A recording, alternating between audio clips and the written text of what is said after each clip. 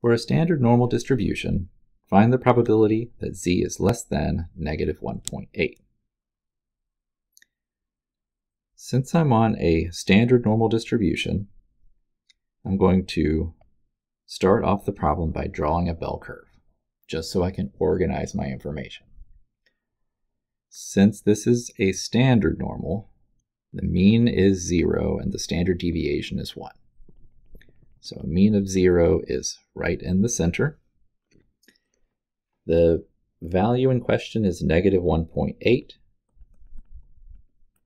And I want the probability that z is less than that, so I would shade to the left.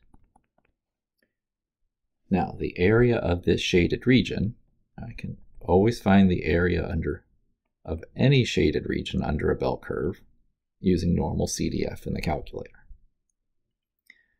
It takes up to four inputs, but the first two are the lower bound of your shaded region and the upper bound of your shaded region.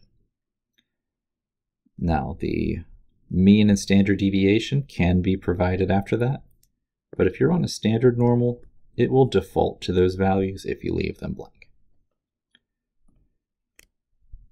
So to put this in the calculator, I hit second and vars, which takes me to the distribution menu. Come down to normal CDF.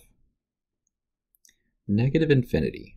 Negative infinity is not a button I can press here, but I can put negative and then hit comma, which gives me this E, and then 99.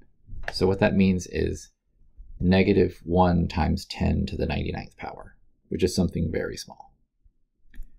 Then I put negative 1.8 for my upper bound. And I get 0.0359.